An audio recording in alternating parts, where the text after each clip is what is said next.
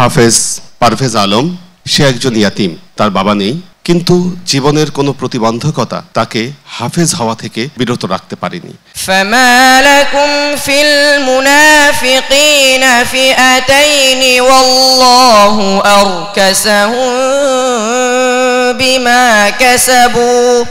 আমাদের এবারের প্রতিযোগী হাফেজ পারভেজ আলম।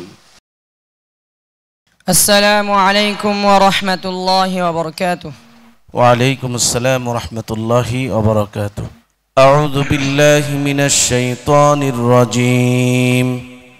بسم الله الرحمن الرحيم.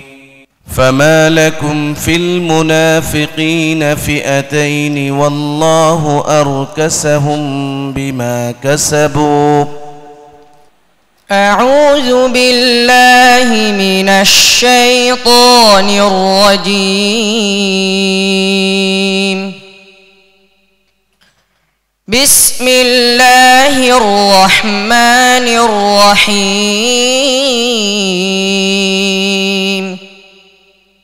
فما لكم في المنافقين فئتين والله أركسهم بما كسبوا أتريدون أن تهدوا من أضل الله ومن يضلل الله فلن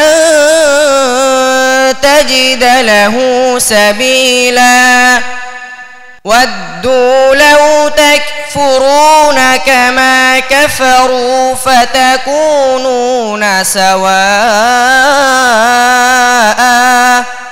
فتكونون سواء فلا تتخذوا منهم أولياء فلا تتخذوا منهم أولياء حتى يهاجروا في سبيل الله. فإن تولوا فخذوهم وقتلوهم حيث وجدتموهم ولا تتخذوا منهم وليا ولا نصيرا. حسبك. صدق الله مولانا.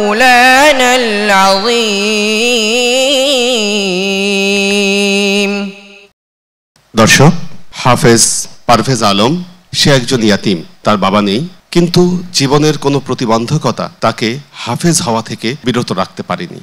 আমার বিশ্বাস, আজকে সে যে তেলাওয়াত করেছে, তার বাবার অন্ধকার কবরে ইনশাল্লাহ এই তেলাওয়াত আলো ছড়িয়ে দিয়েছে। আমরা দেখে আসি আমাদের বিচারকের কেমন লাগল। পারভেজ আলমের ব্যাপারে মন্তব্য করবেন আমাদের সম্মানিত বিচারক মুফতি এহসানুল হক জেলানি। মাশাল্লাহ পারভেজ আলম খুব সুন্দর তেলাওয়াত পেশ করেছ। তোমাকে একটু মাখরাজ সিফত এর প্রতি আরেকটু যত্নবান হতে হবে। সামনে তুমি এগিয়ে যাও আল্লাহ তাআলা তোমার এই তেলাওয়াতের মধ্যে বরকত দান করুন। অসংখ্য ধন্যবাদ হাফেজ পারভেজ আলম। আল্লাহ তোমার এই তেলাওয়াতে আরও বরকত দান করুক। তুমি সামনে আরও অনেক ভালো করবে ইনশাআল্লাহ। السلام عليكم ورحمة الله وبركاته Wonder, wonder, layer cake. My day by day, wonder,